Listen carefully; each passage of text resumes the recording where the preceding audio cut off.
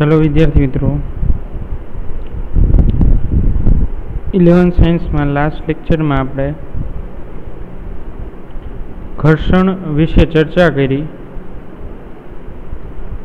અને ઘર્ષણ બળને વધારે ને વધારે સમજવાનો પ્રયત્ન કર્યો. એના માટે આપણે ઘણા બધા એક્ઝામ્પલ પણ જોયા અને એ એટલા માટે આપણે થોડો ટાઈમ લઈએ છીએ કે જેથી કરીને તમને જે ટોપિક આપણા ટેક્સ્ટ બુકમાં નથી આપેલ એફબીડી વાળો એપ્રન્ટ વેઇટ વાળો એપ્રન્ટ વેઇટ એપ્રન્ટ માસ તો એ બધું આપણે ડિટેલમાં ચર્ચા કરવા માટે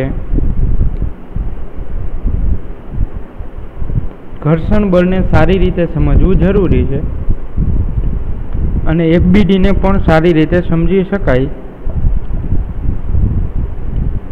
તો ખાસ એટલા માટે જ વધારે આપણે ડિટેલમાં ચર્ચા કરી. હવે આજના લેક્ચરમાં આપણે વિદ્યાર્થી મિત્રો, ઘર્ષણ બળ જે છે એને સમતોલન સ્થિતિની વાત કરવાની છે સ્થિત ઘર્ષણાંકની વાત કરવાની છે. પણ એ બધી વાત કરતાં પહેલાં મારે તમને એક સમતોલન બળ એટલે શું એની વિશે ચર્ચા કરવાની છે. કે સમતોલન બળ એટલે શું? જોઈએ આપણે.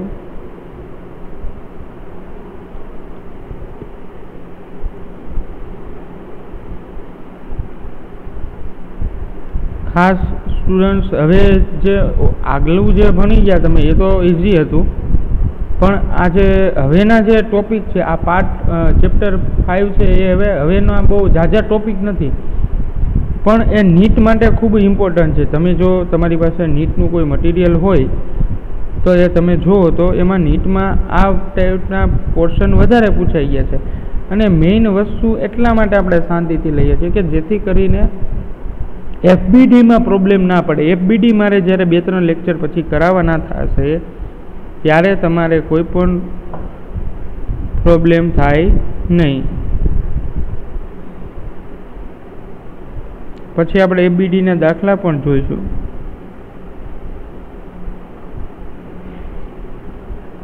તો હવે આપણે બળ જે છે, એક બિંદુગામી બળ અથવા તો બળોની અસર વિશે ચર્ચા કરવી જરૂરી છે.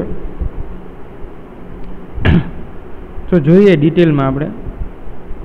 અને પછી સ્થિત ઘર્ષણાંકમાં આપણે આગળ વધીએ. સ્થિત ઘર્ષણાંક સમજીએ.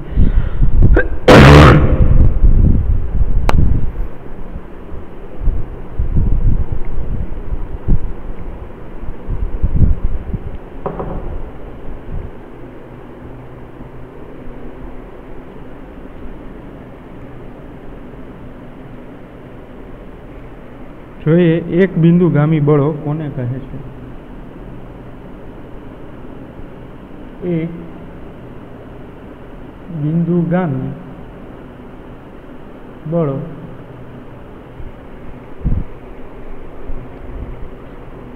ત્યારબાદ કણોનું સંતુલન કણોનું સંતુલન સમજાવવાનું છે. તો કણોનું સંતુલન ક્યારે રહે? કે જ્યારે બધા પ્રકારના બળો, બધા પ્રકારના બળો બધી દિશામાંથી લાગતા બળો સમાન હોય, તો ત્યારે એને સંતુલન અવસ્થા કહેવાય છે.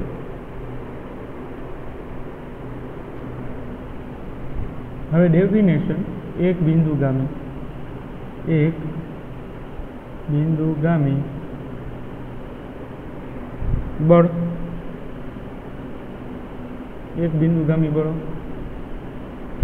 ચાલો તો શું કે છે? એક બિંદુ કામી બળો તો કે જે બળોની કાર્યરેખાઓ જે બળોની કાર્યરેખાઓ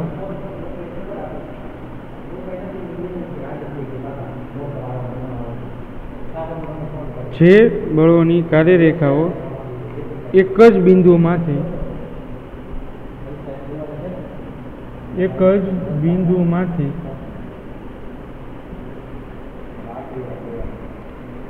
પસાર થતી હોય. પસાર થતી હોય.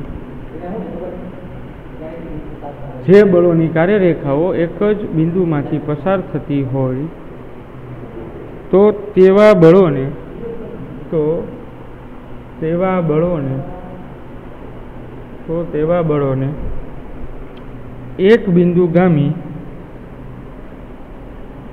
તેવા બળોને એક બિંદુગામી બળ કહે છે.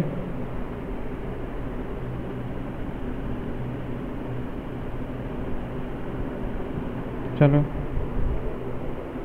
ત્યારબાદ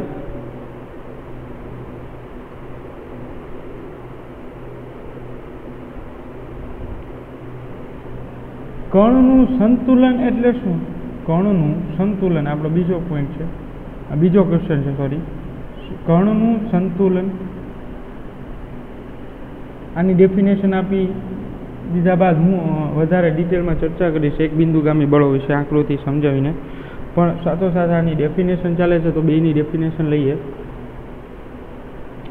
આ કણોનું સંતુલન છે. કણોનું સંતુલન કઈ રીતે છે? એની ડેફિનેશન જોઈએ.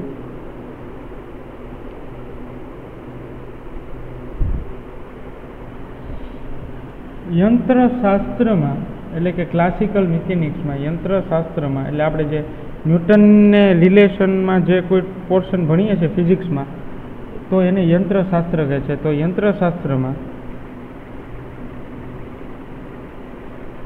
કણનું સંતુલન સોરી, યંત્રશાસ્ત્રમાં કણનું સંતુલન કોને કહેવામાં આવે છે? યંત્રશાસ્ત્રમાં.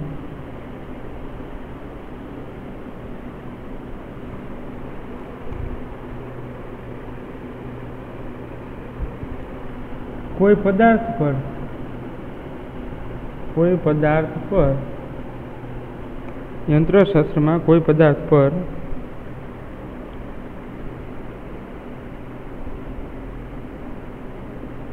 લાગતું. લાગતું. પરિણામી બળ. પરિણામી બળ અથવા તો બાહ્ય બળ.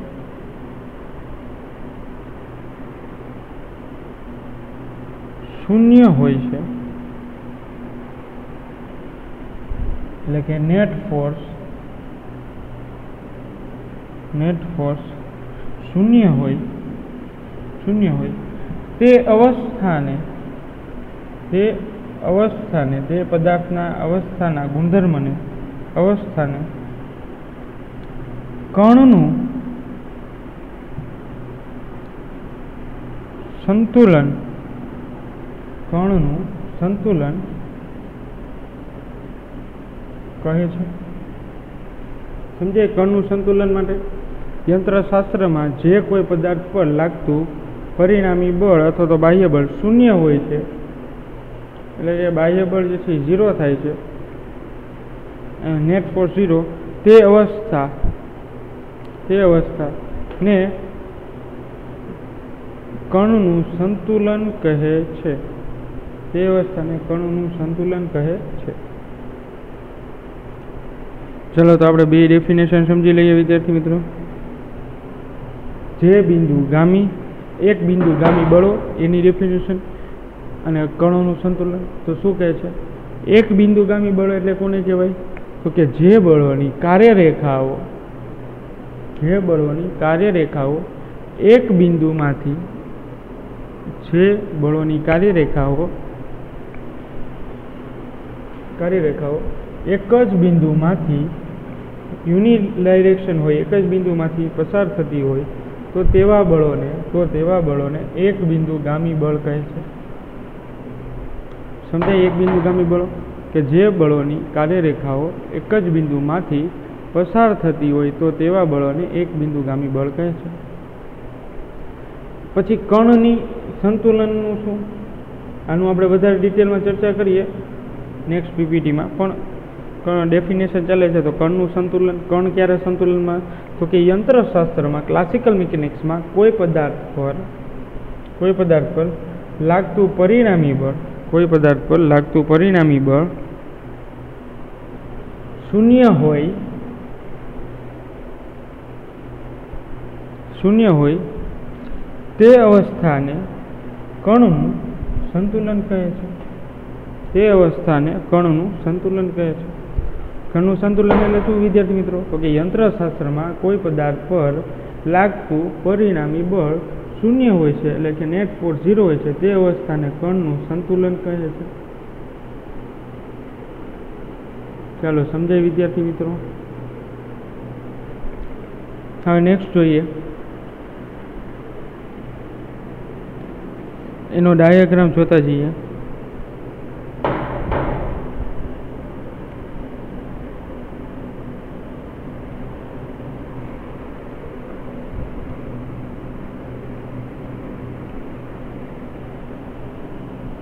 જે કણ પર જે કણ પર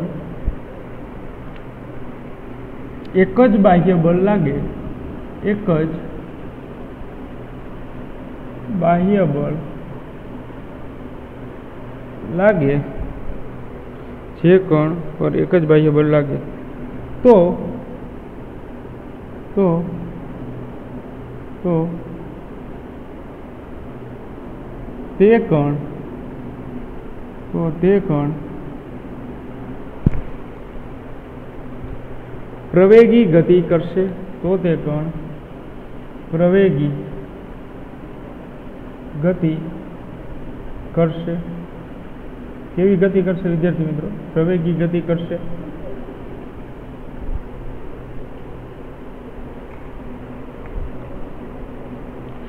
એટલે કે સંતુલનમાં રહી શકશે નહીં. એટલે કે એટલે કે એટલે કે તે કણ તે કણ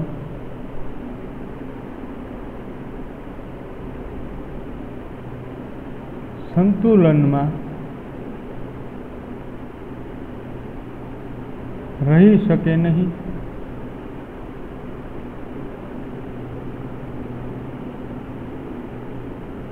રહી શકે નહીં. એટલે કોઈ જે કણ પર બાહ્ય બળ લાગે, તો તે કણ પ્રવેગી ગતિ કરે. એટલે તે કણ સંતુલનમાં રહી શકે નહીં, એવું કહી શકાય આપણે.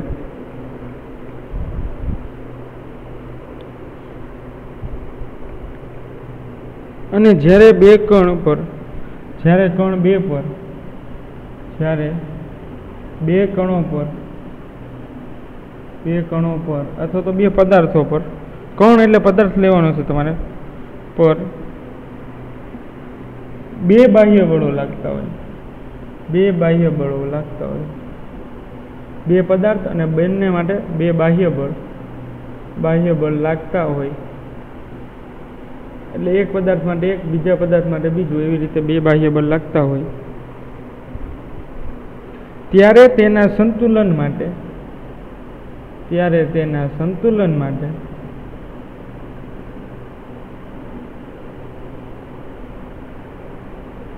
ત્યારે તેના સંતુલન માટે સમેશન ઓફ એફ એટલે કુલ પરિણામી બળ ઝીરો થવું જોઈએ. ઝીરો થવું જોઈએ.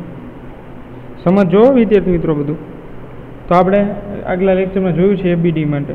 તો F one equal to minus F two અથવા તો આમ પણ લખી શકાય. F one plus F two equal to zero equal to zero કારણ કે બધી દિશામાં લાગતા બળ કેવા છે? સમાન. તો આમ પણ લખી શકાય ને વિદ્યાર્થી મિત્રો? કે આ પરિસ્થિતિ જે છે એ આ એક બિંદુ થઈ ગયા ને? ચલો જો બળ જે છે સંત, કોઈ પદાર્થ સંતુલનમાં હોય તો આ બિંદુ પર સ્થિર જ છે. તો એક બિંદુ ગામી બળ થઈ ગયા ને? એક બિંદુ ગામી બળ કે એક જ બિંદુ પર એ જે બળોની કાર્યરેખા એક જ બિંદુમાંથી પસાર થતી હોય તો તેવા બળોને એક બિંદુ ગામી બળો કહે છે. તો આ એક બિંદુગામી બળ, એક બિંદુ ગામી બળ. કે આ દિશામાંથી બળ લાગે છે? આ દિશામાંથી નહીં બળ લાગે છે. એફ અને એફ પણ પરસ્પર વિરુદ્ધ દિશામાં લાગે છે. આનું બળ આમ છે, નાનું આમ છે. તો એક બિંદુ સેટ રહે છે. ત્યાં જ પદાર્થ રહે છે. આગળ પાછળ ગતિ કરતો નથી, તો એ અવસ્થા કેવી કેવી થઈ જશે? સંતુલન. ત્યારબાદ એક બીજો પણ એવો કેસ છે, એ પણ કેસ માટે કણોનું સંતુલન શક્ય છે. આ જે છે એ પરસ્પર વિરુદ્ધ દિશામાં બળ હતા. પરસ્પર વિરુદ્ધ દિશામાં. અને કણથી દૂર હતા. કણથી દૂર. કણથી દૂર. જો આની દિશા આમ છે બહારની તરફ આની આમ છે. એફ વનની દિશા કણથી દૂર છે? અને એફ ટુની દિશા પણ કણથી દૂર પ્રકારના લાગતા બળો છે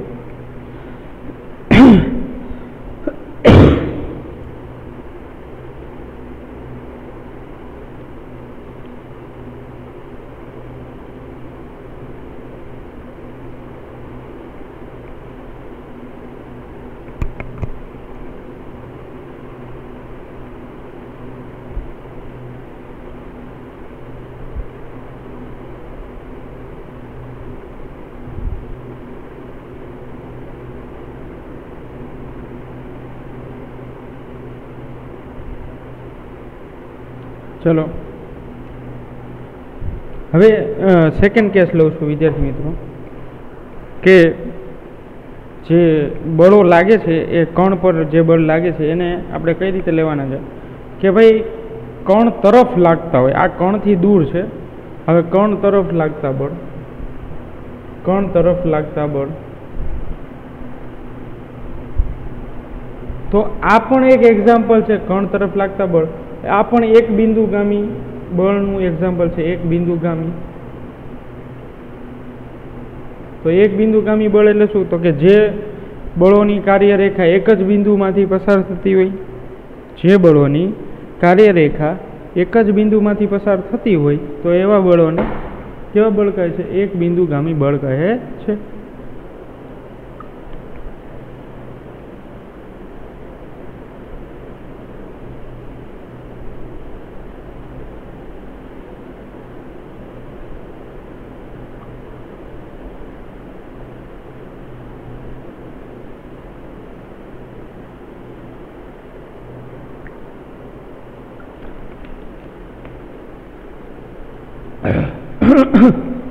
ચાલો તો આ એક કણ છે? હવે કણ તરફ લાગે છે? જો, કણ તરફ? એટલે એક બળ હું આમ લગાડું છું. એ એફ વન જેટલું છે. અને બીજું બળ જે છે હું આ રીતે લગાડું છું. તો એ બળ કેટલું લાગે છે વિદ્યાર્થી મિત્રો?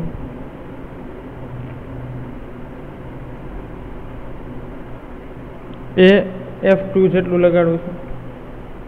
એફ વન અને એફ ટુ સપોઝ કે અહીંયા કોઈ એક બોટલ પડી છે પાણીની, તો એ બોટલ પર એક વ્યક્તિ આ તરફ ફોર્સ લગાડે છે અને એક વ્યક્તિ આ તરફ ફોર્સ લગાડે છે. અને બંને તરફથી લાગતા ફોર્સ છે એ સમાન છે. બંને તરફથી લાગતા બળ છે એ સમાન છે. તો આ બોટલ ક્યાંય ગતિ કરશે નહીં. આ એક બિંદુ છે, ઓ બિંદુ છે, તો એનું સ્થાન પર સ્થિર રહેશે. એના સ્થાન પર કેવું રહેશે? સ્થિર.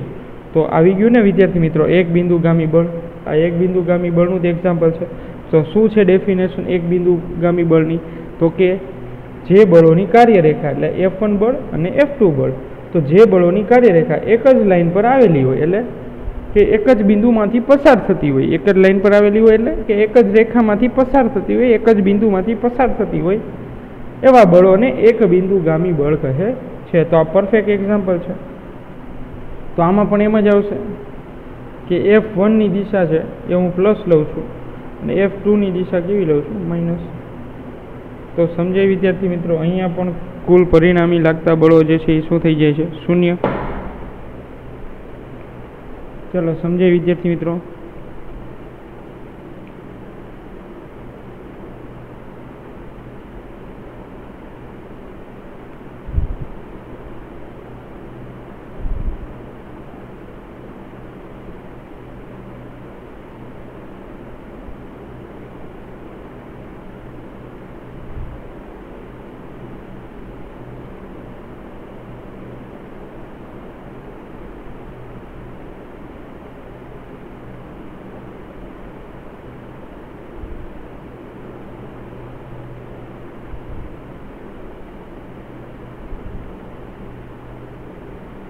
ચાલો હવે ત્યારબાદ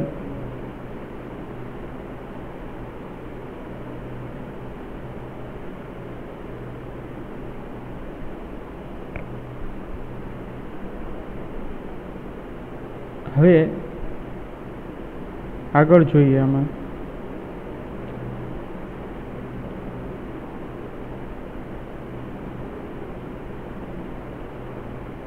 ચલો પહેલાં આરામથી આટલું સમજી લ્યો, વિદ્યાર્થી મિત્રો. ટોટલી આ બધી એકો એક વસ્તુ તમારે એફબીડીમાં કામ આવશે. એટલે આની પરફેક્ટ નોટ બનાવજો વ્યવસ્થિત.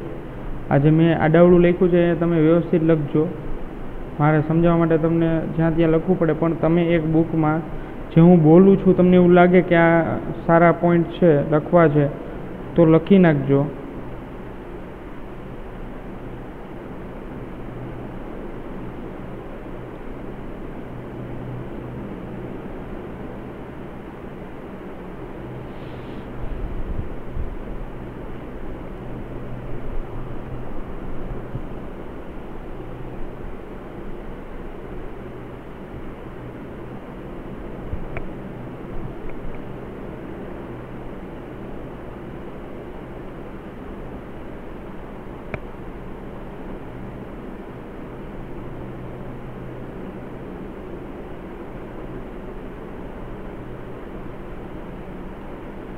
ચલો ડિયર સ્ટુડન્ટ્સ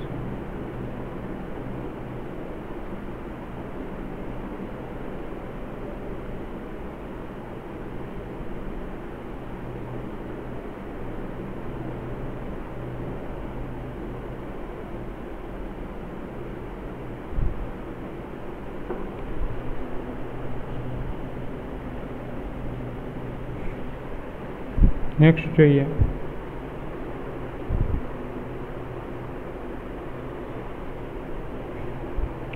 એક બિંદુગામી બળ માટે. ગામી બળ માટે. ચલો આગલી પીપીટી આરામથી જોઈ જઈ હોય ઝડપથી આગળ વધીએ.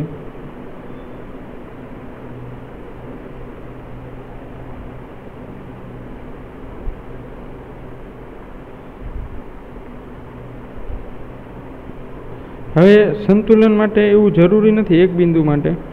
પણ બીજા ઘણા બધા એક્ઝામ્પલ છે કે જેના દ્વારા તમે એવું સમજી શકો કે કોઈ પદાર્થ પર લાગતું પરિણામી બળ જે છે, એ સંતુલનમાં છે.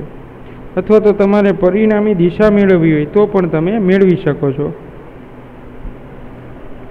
એક બિંદુગામી બળ માટે પદાર્થ સ્થિર રહે છે. સ્થિર રહે છે. હવે એ પદાર્થ કણથી દૂર લાગતું હોય અથવા તો કણ તરફ લાગતા હોય બધા બળો માટે. પણ એક વસ્તુ ખાસ નોટ કરવાની છે કે શૂન્ય રહેશે પણ ક્યારે?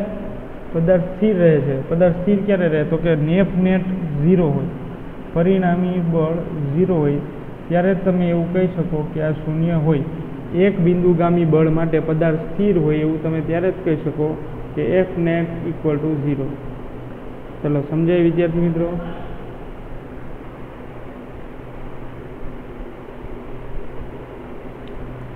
હવે ઘણીવાર એક રેખસ બળ કહેવાય, પણ એવું ન કહેવાય કે એક બિંદુગામી બળ છે, એના માટે પદાર્થ સ્થિર છે. સપોઝ કે આ કોઈ પદાર્થ છે, બોટલ છે સિલિન્ડ્રિકલ છે, કોઈ એક બોટલ છે સિલિન્ડ્રિકલ હવે એ બોટલ પર આ ડાયરેક્શનમાં ફોર્સ લાગે છે અને આ ડાયરેક્શનમાં પણ ફોર્સ લાગે છે. સપોઝ કે આ ડાયરેક્શનમાં લાગતું ફોર્સ આઠ ન્યૂટન છે અને આ ડાયરેક્શનમાં લાગતું ફોર્સ દસ ન્યૂટન છે.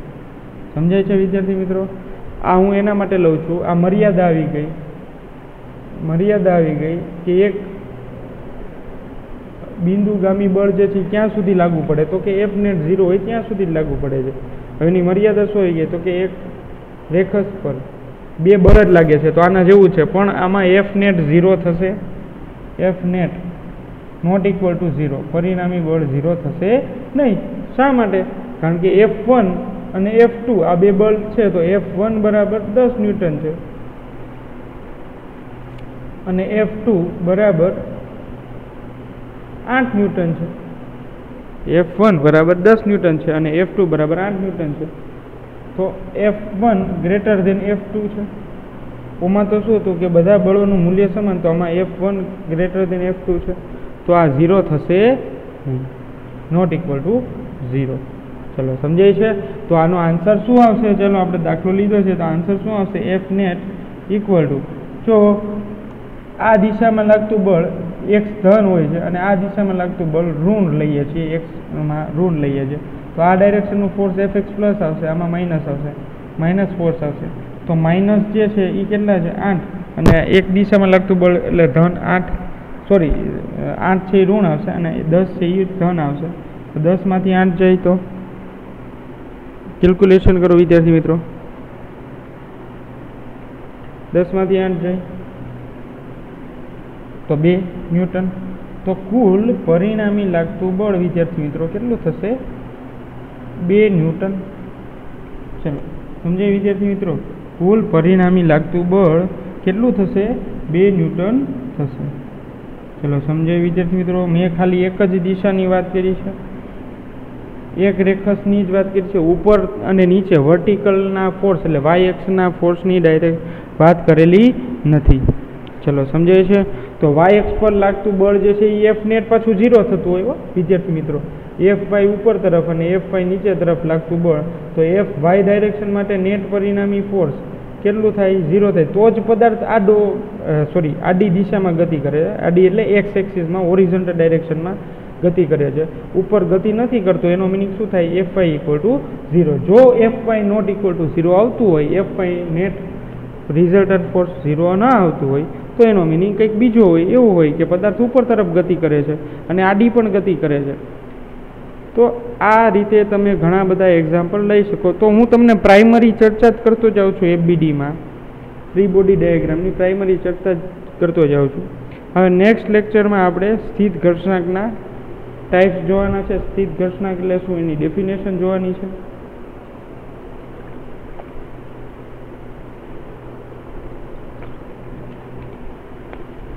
તો આજના લેક્ચરમાં ઘણું બધું શીખ્યા છીએ આપણે. પણ આ બધી વસ્તુ શીખવાની તમારે એના માટે ખાસ યાદ રાખજો એફબીડી ને આ બધી વસ્તુ. કે એ તમારે એક્ઝામ માટે બહુ જ ઇમ્પોર્ટન્ટ છે. એક્ઝામ માટે ખૂબ જ અગત્યની છે. નીટ અથવા તો કોઈ જેડબલની તૈયારી કરતો હોય તો એના માટે આવા જ સમ હોય છે. આવા હમણાં લાસ્ટ ટાઈમ નીટની અંદર એ પુલીનો એક આવો જ સમ હતો.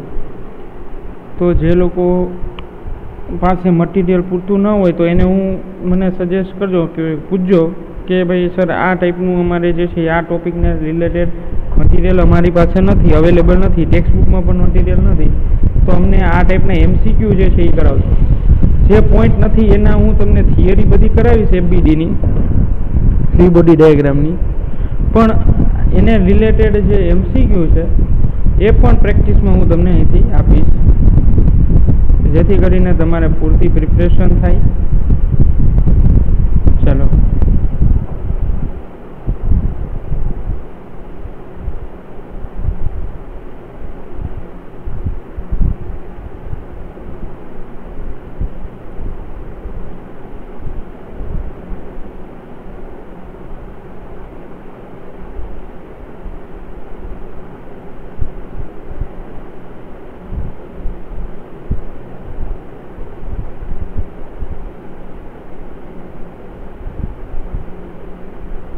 ચલો તો આજના લેક્ચરમાં આટલું. નેક્સ્ટ લેક્ચરમાંથી સ્થિત ઘર્ષણાને એ રિલેટેડ ટોપિક જે છે, આપણે આગળ લેતા જઈએ. ઘર્ષણના ટાઈપ્સ છે. પણ આજના લેક્ચરનું બધું ઇમ્પોર્ટન્સ યાદ રાખજો. બાકી તમને પ્રોબ્લેમ પડશે દાખલા માટે. એક બિંદુગામી બળો, કણોનું સંતુલન, પછી એના પ્રકાર, એક રેખસ માટેના કેન્દ્ર તરફ, કેન્દ્રથી દૂર. પછી એના સ્પેશિયલ કેસ મર્યાદા. તો આજના લેક્ચરમાં આપણે ટોટલી કમ્પ્લીટ કરીએ છીએ. સંતુલન અને એક બિંદુગામી બળ. કે જે બળો ની કાર્યરેખા એક જ બિંદુમાંથી પસાર થતી હોય એવા બળોને એક બિંદુગામી બળો કહે છે. ચલો ટોટલી જે છે એ સમજી લીધા બાદ કમ્પ્લીટ થયા બાદ આજનું લેક્ચર અહીંયા વિરામ આપીએ છીએ. નેક્સ્ટ લેક્ચરથી સ્થિત ઘર્ષણાંકને કન્ટિન્યુ કરશું આપણે.